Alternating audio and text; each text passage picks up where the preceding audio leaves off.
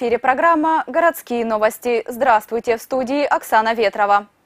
Обычно Харцизский городской бассейн на три летних месяца закрывает свои двери для посетителей. Нынешний сезон станет исключением. Городские власти совместно с руководством спортивно-оздоровительного комплекса решили изменить традицию завершать плавательный сезон весной. О новом графике работы городского бассейна в нашем следующем сюжете. Харцизяне уже давно привыкли, что летом городской бассейн не работает. И в это время года спортсмены и любители плавания обычно вынуждены довольствоваться заплывами на местных ставках. В нынешнем году все будет не так. Коммунальное учреждение будет работать и июнь, и июль. Август нам отводится на ремонтные работы. И для бассейна, и для котельной. Нас ожидает капитальный ремонт мужской раздевалки, замена канализации, естественно, полов, там, стены. Узнав о новом расписании, в детском саду «Чайка» решили, начиная с июня, ежедневно водить детвору в бассейн учиться плавать. Руководство спорткомплекса также планирует привлекать к оздоровлению детей, которые будут посещать пришкольные детские лагеря. Сейчас э, согласование администрации города вводим новые формы услуг – Аренда дорожки мож, можно будет взять, если для, для каких-то предприятий интересно. Там. Попробуем вот на летний период безлимитный покатать абонементик. Посмотрим, как пойдет, не пойдет. То есть ну, поэкспериментируем с этим вопросом. Еще одно нововведение в режиме работы бассейна коснулось времени его открытия. С 1 июня первый сеанс плавания будет начинаться не в 8, а в 7 часов утра. Такое решение принято по инициативе постоянных посетителей оздоровительного комплекса. Работники Харцизского бассейна заверяют любителей плавания, что появившиеся в последнее время слухи о якобы сомнительном качестве воды не имеют под собой оснований. Лаборант коммунального учреждения раз в сутки обеззараживает воду в малой и основной ваннах гипохлоритом натрия. Регулярно проводит замеры температуры и количества остаточного хлора в воде.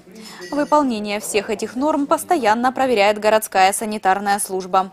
Что же касается тарифов на посещение спортивно-оздоровительного комплекса, то они еще с прошлого года не менялись. 20 рублей за детский и 45 рублей за взрослый билет.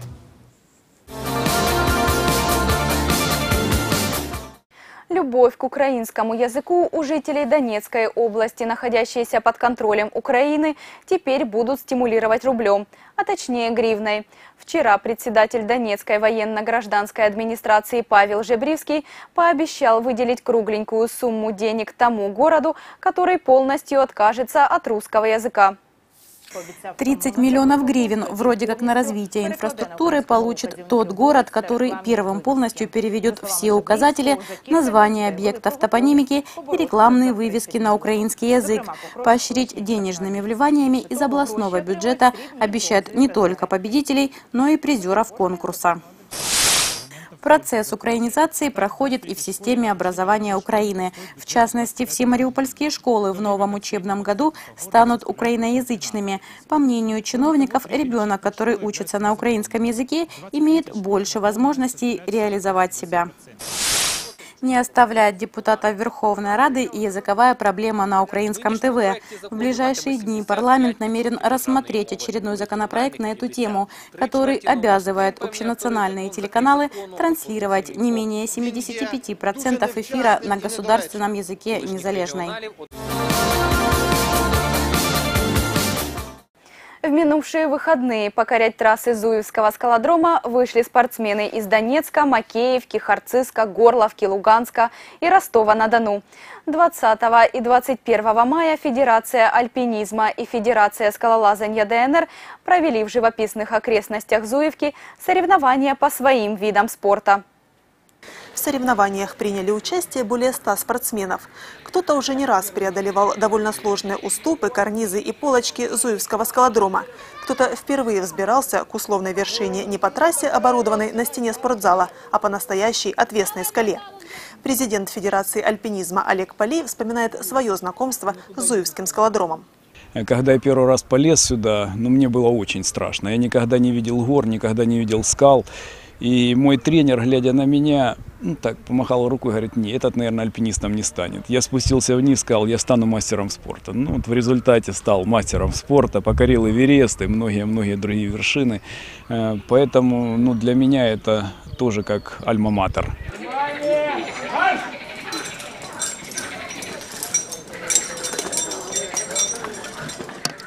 На Зуевском скалодроме проложены трассы различной степени сложности. Они позволяют почувствовать вкус победы и скалолазу-новичку, и опытному альпинисту. Неудивительно, что в соревнованиях здесь принимают участие одновременно и дети, и ветераны спорта. Зуевский скалодром – это колыбель мастеров спорта всего Донбасса по альпинизму и скалолазанию. Здесь э, тренировался наш знаменитый альпинист Миша Туркевич, который первый сделал ночное восхождение на Эверест. Э, здесь э, тренировались такие звезды скалолазания, как э, Ваня Шишковский, как э, Данил э, Болдырев, который стал чемпионом мира по скалолазанию. То есть, ну, здесь целая плеяда мастеров спорта международного класса воспиталась на этих скалах. На несложных маршрутах, называются они «бега», делают свои первые шаги совсем еще юные скалолазы. Они, конечно, торопятся, ведь для результата важна скорость. И в то же время осторожничают, поскольку даже со страховкой здесь бывает страшновато. Старший тренер Федерации скалолазания ДНР Галина Филенко довольна подрастающим поколением. Говорит, что смена растет достойная. Очень много детей приходит. Вот, э, как говорится, обыденная футбол, там бокс, борьба. Вот приходят и записываются именно на скалолазание. Даже приходят мамы с папами лазят вместе с детьми. Да, очень им нравится. У нас традиционно проводятся эти соревнования памяти альпинистов Донбасса, которые нам, как говорится, проложили дорогу в будущее. У нас есть чемпионы и Советского Союза, и Украины, и мира и по скалолазанию и по альпинизму. За плечами у хартезянки Валерии Спиридоновой три года тренировок и десятки побед на Зуевском скалодроме и искусственном рельефе. Страшно всегда перед соревнованиями, но когда подхожу уже к скале, начинаешь лезть и все, нравится очень. Интересно. По соседству со скалолазами соревнуются альпинисты в классе «Донбайские связки». А связки – это имитация, полная имитация альпинизма. Полная имитация. Это как бы мы имитируем так э, восхождение в горах. То есть страховка вторым участникам, прокладка э, значит, маршрута, вщелкивание крючев и организация станции, вся страховка, она это полностью имитирует восхождение. Там даже будет такой элемент, как преодоление маятником, так называемым, рельефа. Это очень зрелищно, когда участник просто фактически на веревке с какой-то страховкой перелетает какой-то участок или карниз. Это вот очень здорово. Сергей Пугачев на этих соревнованиях отвечает за технику безопасности. Он же прокладывал трассу для мужских связок. Старался, чтобы получилось и зрелищно, и в меру сложно, и безопасно. Мы постарались сделать, чтобы большинство участников трассу закончили успешно. Вот и даже, даже спуск, даже спуск, как это спускается в горах, он тоже включен как в элемент э, связок. Свой отпуск они непременно проводят в горах, а выходные нередко на Зуевском скалодроме. Туризм, скалолазание, альпинизм – для таких людей это уже не столько спорт, сколько образ жизни. Я в соревнованиях не очень часто участвую. Мы участвуем больше в восхождениях, походах. Наверное, нету спортивного духа такого победить обязательно кого-то. Мы стараемся победить горные маршруты, вершины, а, а не соседа. Преподаватель ДонНТУ Виталий Кондрахин сегодня в одной связке со своей супругой, как и при покорении знаменитого памирского семитысячника Пика Корженевской. Опытные альпинисты знают, только отработав до автоматизма взаимодействия в паре на Зуевских скалах, можно рассчитывать на успех при восхождении на высочайшие вершины мира. В июне 97-го в Иловайске была создана студия современной хореографии «Танцующий город». Детский танцевальный коллектив довольно быстро покорил сердца местных ценителей прекрасного. И в последние годы приглашается чуть ли не на все городские мероприятия. В минувшие выходные «Танцующий город», один из самых ярких и успешных творческих коллективов Иловайска, отмечал свое десятилетие. В честь дня рождения родного коллектива его участники решили организовать большой праздник и порадовать горожан двухчасовым концертом. В субботу в актовом зале Иловайского дома науки и техники был аншлаг. Руководитель студии современной хореографии Ольга Азарова вспоминает, с чего 10 лет назад началась история танцевального коллектива. Я работала в школе искусств здесь, в городе Иловайске. Но, к сожалению, отделение было сокращено. Детки хотели продолжать танцевать, и я осталась в городе Иловайске таким образом. Продолжила эту деятельность. Вот уже 10 лет мы танцуем. Сегодня в танцующем городе занимаются около 70 детей. Как говорится, от мала до велика. Здесь и совсем еще малыши, которые только начинают делать первые шаги к азам хореографического мастерства, и вполне уже взрослые и много чего умеющие воспитанники студии. Ольга Азарова так сходу даже и не берется подсчитать, сколько номеров накопилось в репертуаре ее коллектива за минувшую десятилетку. На отчетном концерте танцующий город демонстрировал зрителю лишь те композиции, которые поставлены в течение последних трех лет. В итоге в программу праздничного концерта вошло 25 номеров.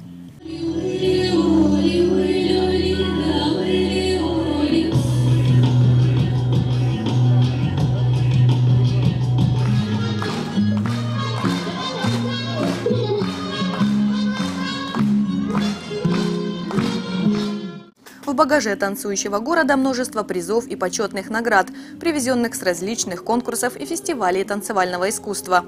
В свое время иловайчане активно гастролировали по Украине. Теперь же мечтают покорить российскую публику в ранге одного из лучших хореографических коллективов республики. Мы очень часто выезжаем на э, фестивали и конкурсы международных уровней, республиканские конкурсы, где, конечно же, побеждаем или, может быть, не очень, скажем так, первые мы приходим. Но, тем не менее, детки очень любят эти конкурсы, эти фестивали.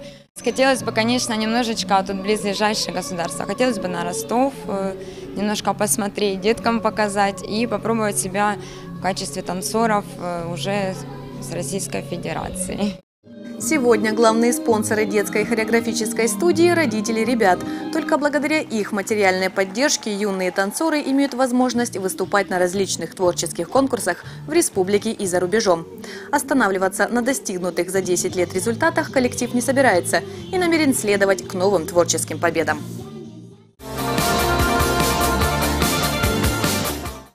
Минувшие выходные выдались насыщенными на танцевальные мероприятия. 20 мая в Центре детского и юношеского творчества состоялся отчетный концерт образцовой студии современной хореографии «Эвиденс».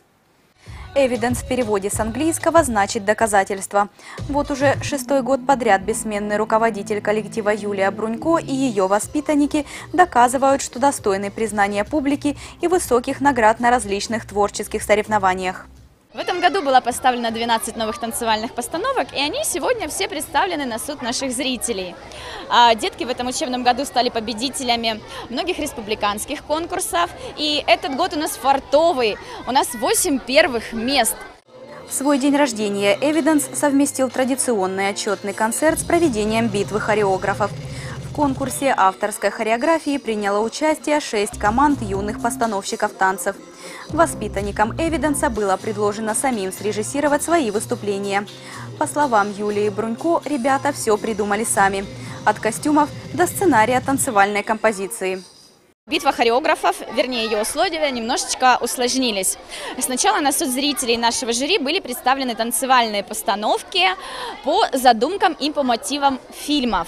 В чем была сложность, что каждая команда представляла хореографию еще и в разном стиле, начиная от хип-хопа и заканчивая экспериментальной хореографией.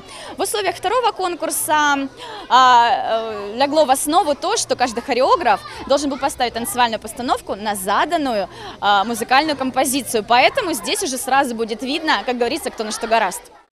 Приглушенный свет на сцене и полное его отсутствие в зрительном зале по ходу некоторых номеров создавали на концерте особую атмосферу, хотя и сделали проблематичным видеосъемку хореографического действия. Поболеть и полюбоваться изящными па юных танцоров пришли самые преданные поклонники студии «Эвиденс». Папы и мамы, бабушки и дедушки воспитанников популярного в Харциске танцевального коллектива, в котором сегодня учатся осмысленно двигаться под музыку 148 ребят, заполнили зал до отказа. И, конечно, именинникам было что показать со сцены своим благодарным зрителям. На этой хореографической ноте мы завершаем сегодняшний выпуск. Помните о том, что учиться танцам никогда не поздно. И до встречи на канале ТВ Сфера.